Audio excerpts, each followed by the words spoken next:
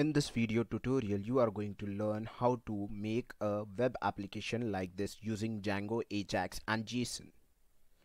This is the CRUD operation.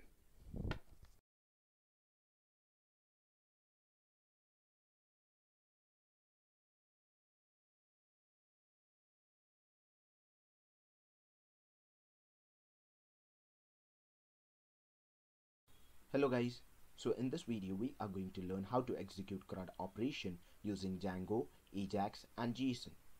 We will be following this tutorial which is on my website studygyaan.com. Links in description. In this tutorial we will be using class based views function. For simplification we will be using database MySQLite which is the default database in Django. We'll take an example of user management system where we will be adding, updating and deleting users and its detail. So let's get started.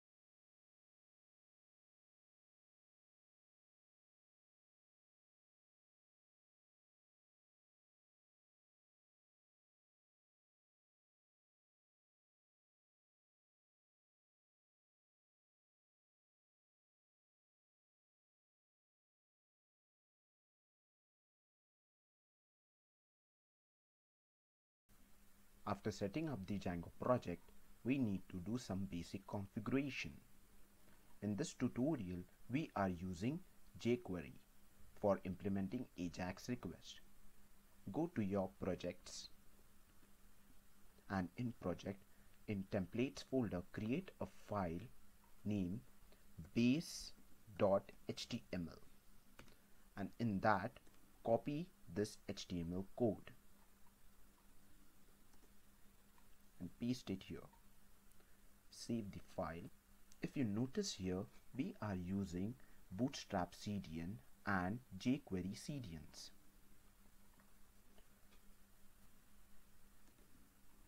now we are using CRUD operation. So we need to create a model. So we are going to create a CRUD user model. Copy this code and go to the project and in project go to the CRUD Ajax app and in that go to models.py. Now paste that code here. Save it. Okay, now we have created the model.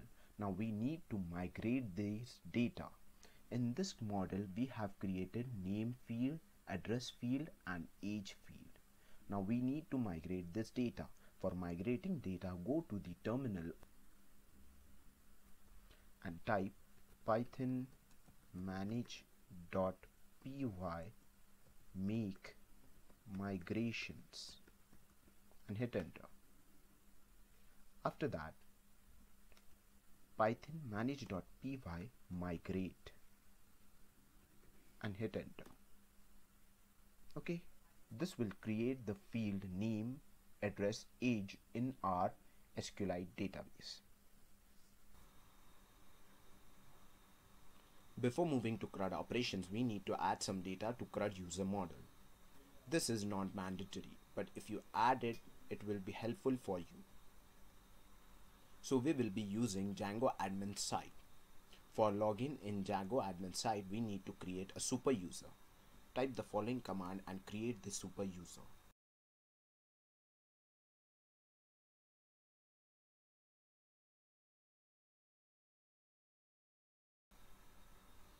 Super user created successfully.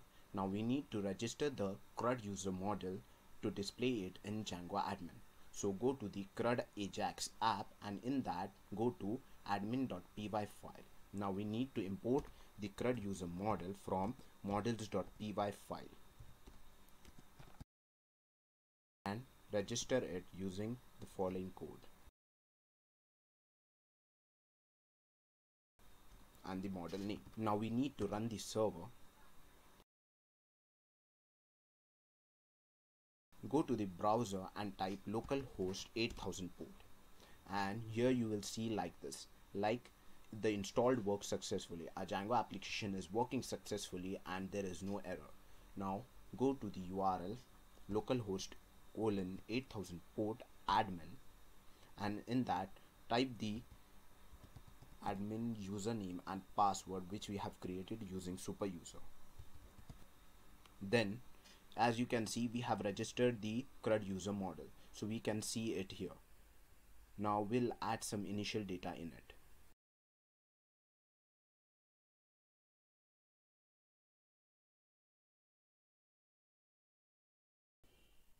So let's start by listing user details operation. We have copied the code of user listing detail. Okay, so I'm going to explain it how it works.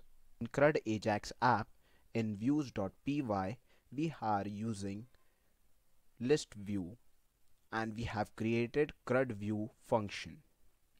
In this function we are using model CRUD user and we have created a template in CRUD Ajax folder CRUD Ajax template. Here it is. And the object name as users. And in URLs we have given the path like this.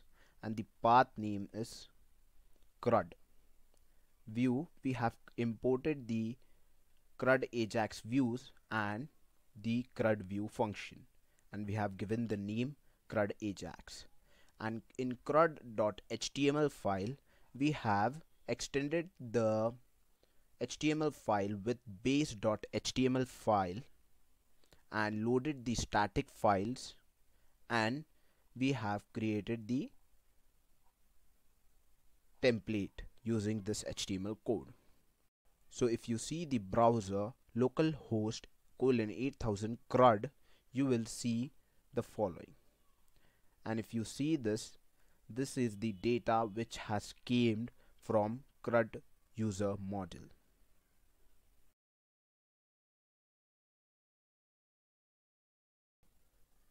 Now we will see create and read user data using Django Ajax. So we have copied this code in our views.py and this URL in urls.py so this is the code in this we are using view generic and we are getting the data using get method and the data which is posted using get method is catched here and we have creating the object and we are responding it using JSON response and here is the URL. Now we need to see this crud.html. Again we are going to edit. Here is the form which we are going to use for sending data. So copy this form as now we just need to replace this block. Copy this and replace it with this and save the file. Here we are getting the form after submission. We are using javascript. After form submission we are getting the data and we are sending it using ajax. And after getting the data if we are getting the response we are appending that data to the table which we is this. Sorry this one. See the browser let's add some data and submit the data. And here you will be seeing this all these things are done using JavaScript.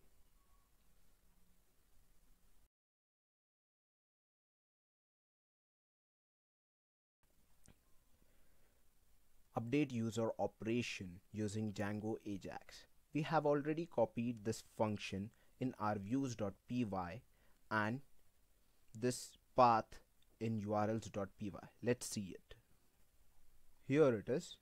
We are getting the data and we are getting the data from the get method and we are creating the instance of it and saving it.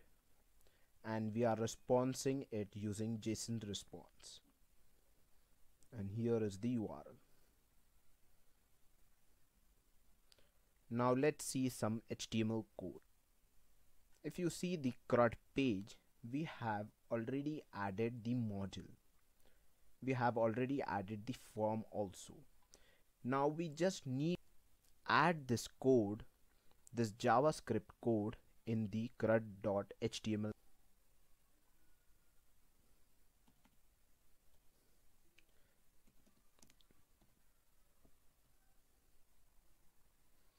in this code in this javascript code we are doing the similar thing that we have done in create operation.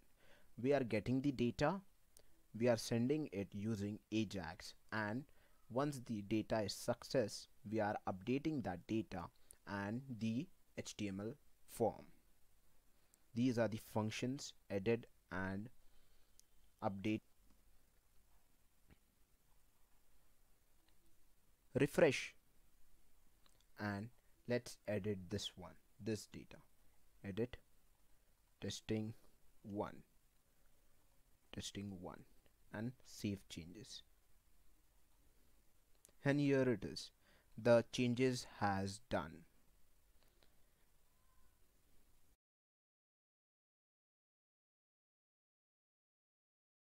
Delete operation using Django Ajax we have copied this view in our views.py and this URL in urls.py let's see it. Here is the function and we are getting the data. Actually we are getting the ID and we are getting that ID and we are deleting it from the CRUD user model from the database. And response is sent. Here is the URL let's copy this javascript function to crud.html file and if you see we are getting the id and sending it as we are getting that id in views.py let's see the browser refresh the browser and let's say we want to delete this user testing testing. Okay so click on delete. Ok and the data is deleted. Now you are wondering that it is deleted from the front end. Let's see it is also deleted from back end also. We can do refresh and the data is not coming. Even we can check using admin. And here is the result. The fourth user object is deleted